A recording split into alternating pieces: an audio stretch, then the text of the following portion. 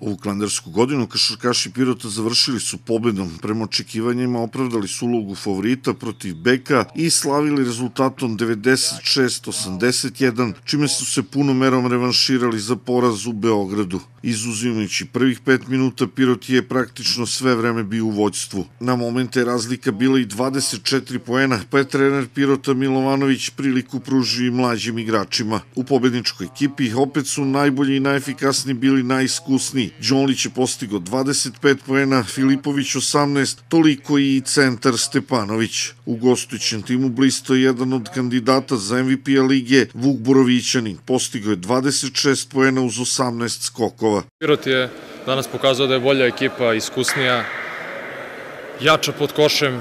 Mi nismo bili u punom sastavu, jednostavno nismo imali ni sreće ovih nekoliko kola. Šta je tu? Mora se okrenemo opstanku borba za opstanak biće do kraja, tu smo, ne povlačimo se i svakako čestitao bi ekipi, čestitao bi treneru protivničkom, igračima, publici na feri korektnom.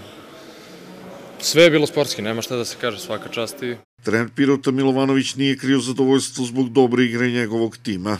Zadovoljan, čestitam igračima, čestitam publici, mislim da je bilo meni izgleda nikada više gledalaca ili, ili smo u pone, čitavog dana smo slavili košarku u Pirotu, videli puno mladih, večeras na utakmici nastavili u tom ritmu, ovi nešto iskusni su omogućili minute i mlađim igračima, bilo ih i tokom utakmice, ali ovo je jedno veliko zadovoljstvo.